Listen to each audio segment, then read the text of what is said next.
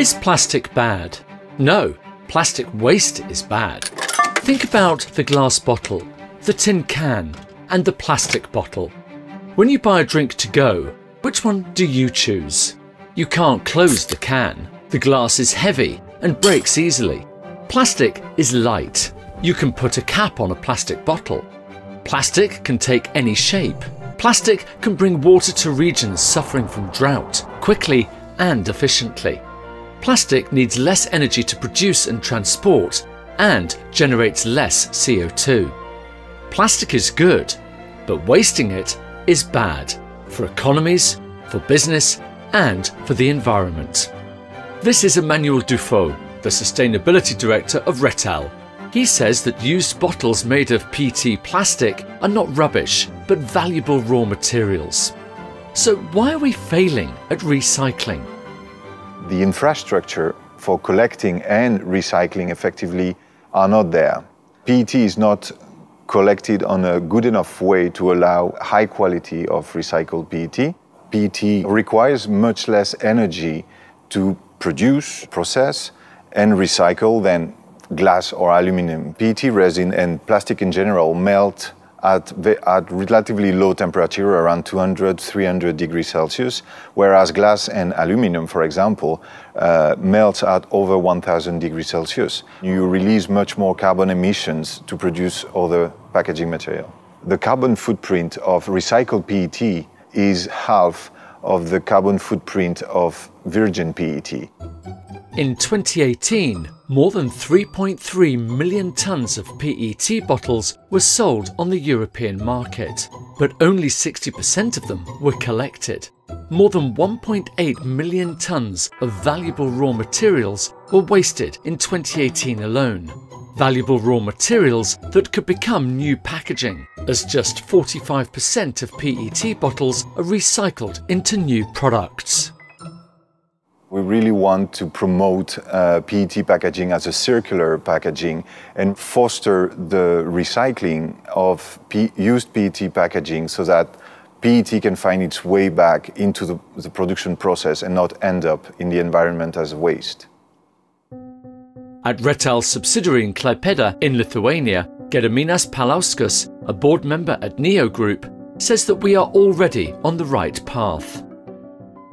European Union Commission is doing great job when they are putting on the table obligations for whole industry. So recycling, PT production, and PT packaging producers will have to change their ways of working. Till 2025, it will have to be used 25% of the recycled content in the total, let's say, bottle.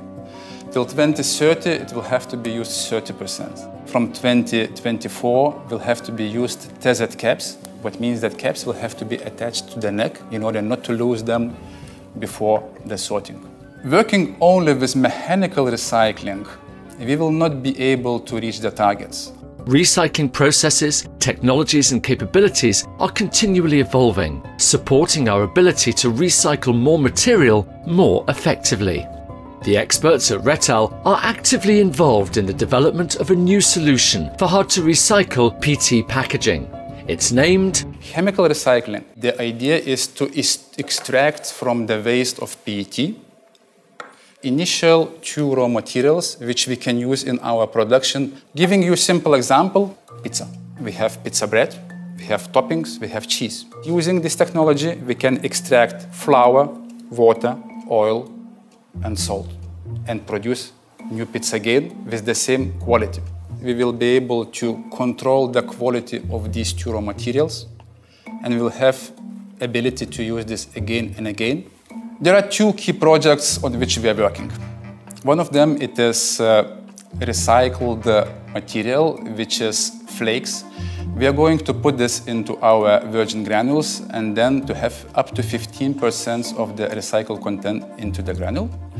And as a project is part of Horizon 2020 program, we are working in consortium of 12 companies to develop technology which will let us chemically recycle all PET.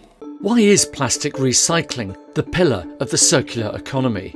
Victoria Eurovishuta General Manager of Retal Baltic, says that plastic recycling requires fewer resources and less energy than glass or aluminium production. And this is our opportunity to build a sustainable future. Victoria, just like Emmanuel and Gediminas, is a believer of the circular economy, the economy which is dedicated to closing the loop, turning used plastic packaging and plastic waste into valuable new products.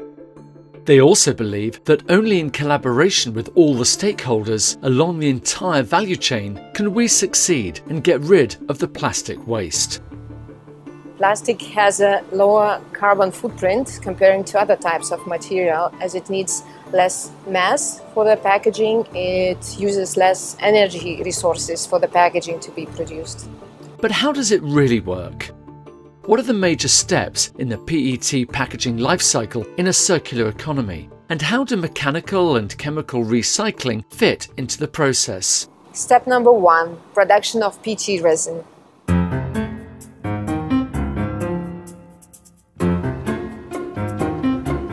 Step number two, production of PET packaging.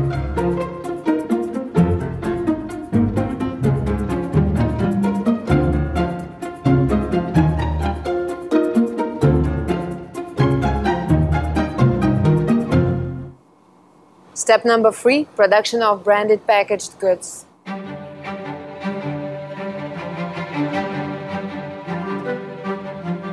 Step number four, consumption and collection. Consumers who are deciding what to do with the packaging actually, to sort it, to waste it. Once the material is collected, it has to be sorted out and recycled. Recycling can be either mechanical, which returns us to the step number two, either chemical recycling, which returns us to step number one. It all sounds great, but beverage brands spend tens of millions of euros on package design, and a recycled bottle doesn't offer the appeal that industries may desire. Look at the vibrant colours of this bottle and compare with the colour of a recycled bottle. Emmanuel, can you explain why would a consumer and a brand choose the latter?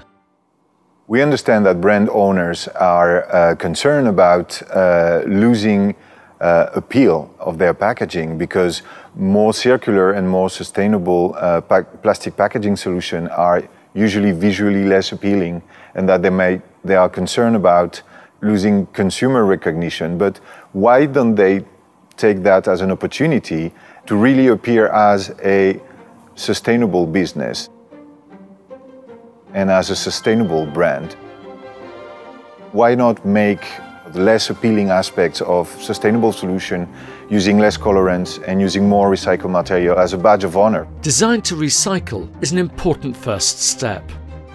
Collection, sorting, recycling and utilizing recycled material all have to be improved and successfully integrated for the circular economy to flow.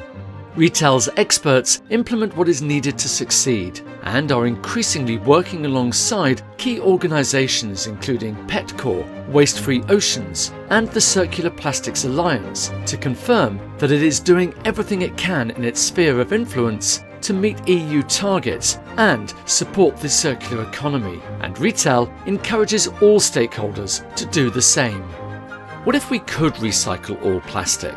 What if we could cut our energy consumption radically? Clean up the oceans? Well, we can.